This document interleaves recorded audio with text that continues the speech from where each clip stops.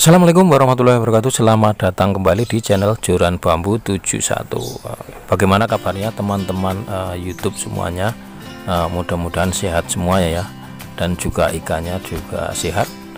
Dan buat teman-teman yang baru saja menemukan di channel Joran Bambu 71 Saya ucapkan uh, terima kasih atas perhatiannya. Dan sebelum dilanjut uh, monggo silahkan uh, like comment juga subscribe ya nanti ya. Oke di sini saya akan uh, mengadakan perawatan rutin uh, berbudidaya ikan gurame dan lele ya. Dan di sini saya akan uh, mengganti air lele ini ya. Di sini udah kotor dan nanti saya akan mengolahnya uh, air lele ini akan saya kelola uh, untuk uh, tanaman ya seperti itu. Oke langsung saja uh, mari sama-sama kita lihat Oke, kita lihat di sini uh, airnya sudah sangat kotor sekali ya. Uh, ini uh, nafsu makan ikannya pun uh, kurang bagus. Di sini saya biasa akan menguras dengan menggunakan pompa akuarium ya ini pompa akuarium uh, 15 watt ya. Oke, langsung saja saya masukkan dan akan saya uh, sedot ya ini ya. Sudah mengalir airnya itu sangat kotor sekali. Dan ini nanti airnya akan saya fungsikan untuk uh, aquaponik ya. Dan nanti ad, masih ada proses selanjutnya uh, dengan ini ya. Ini akan saya jadikan pupuk organik cair nanti ada proses selanjutnya. Oke langsung ini saya habiskan dulu ya. Oke ini airnya udah uh, hampir habis ya dan ini seperti ini uh, jangan dihabiskan sama sekali ya. Kita uh, sisakan kira-kira seperempat embernya seperti itu. Dan nanti akan saya berikan uh, air yang baru ya. Tapi uh, sebaiknya air yang dari tampungan ya. biar airnya udah mengendap dulu diendapkan dulu di tampungan. Nanti gantinya seperti itu. Oke kita lihat proses selanjutnya Oke dan di ember ini uh, udah habis airnya ya. Dan ini akan saya cek lelenya uh, ini dulu bibitnya dari ukuran uh, 6 sentian ya. Ini udah 15 cm ya. Ini udah 15 cm ini umurnya di sini baru uh, satu satu bulan ya. Jadi artinya uh, pertumbuhannya sangat normal sekali. Oke akan saya oh, eh, oh ya ini di sini isinya 35 ekor. Ke dalam ember ini uh, kapasitasnya 70 liter. Oke akan saya uh, lakukan uh, proses berikutnya. Oke ini adalah proses uh, pengisian ya. Ini adalah proses pengisian air. Ini dari air tampungan dan ini sudah selesai ya. Oke akan saya tunjukkan proses berikutnya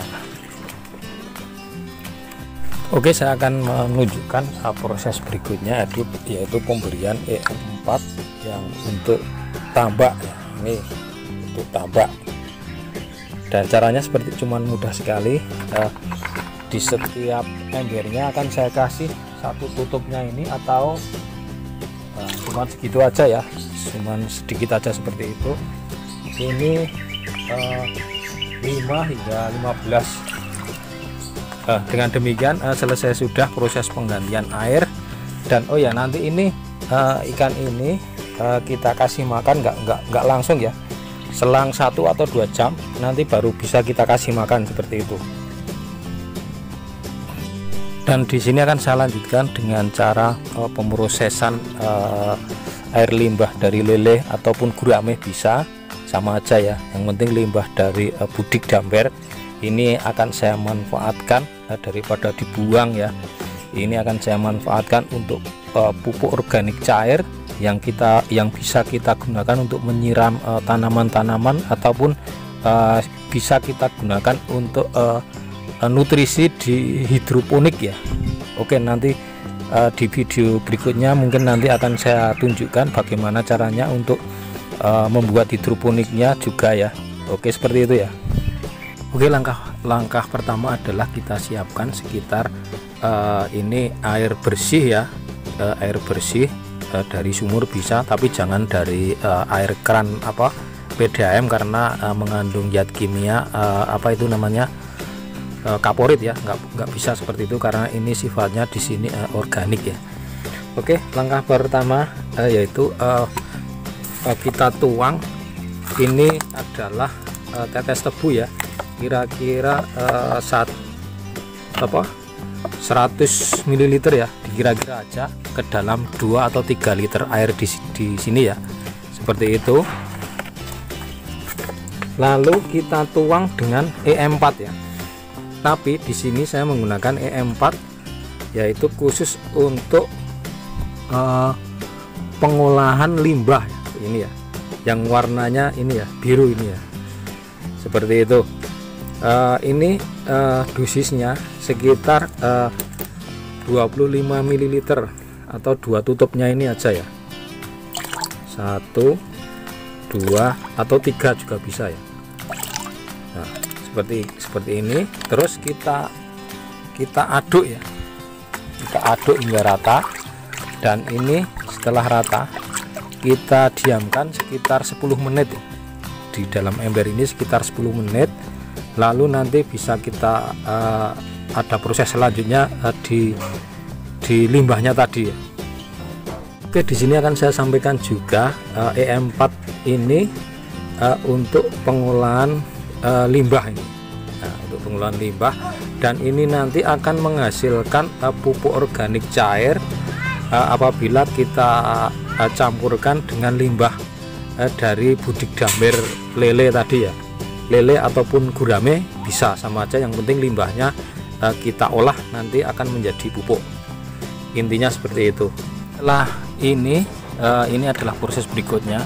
Kita tuang uh, tadi larutan EM4 yang biru tadi kira-kira satu setengah sampai 2 liter ya ke dalam limbah ini ya. Seperti ini. Dan ini nanti akan kita aduk ya. Oke kita kita aduk ya hingga rata. Atau bisa juga menggunakan blower tapi kalau di sini juga udah seperti ini aja. Kita aduk seperti ini aja. Dan ini proses ini uh, di tempat yang teduh ya jangan di tempat yang panas. Dan ini kita tutup kita tutup seperti ini ya. Kita tutup seperti ini. Dan proses ini uh, akan memerlukan waktu kurang lebih uh, minimal tiga hari seperti ini nanti kalau sudah ini jadi Eh, dengan demikian eh, pupuk organik cair kita udah siap untuk digunakan Oke, oke di sini saya akan uh, mengambil contoh untuk menyirami tanaman hias yang di sini ya dengan pupuk organik cair yang sudah jadi ya. Ini ya. Sudah jadi ini udah prosesnya udah kemarin ya. Oke, seperti ini.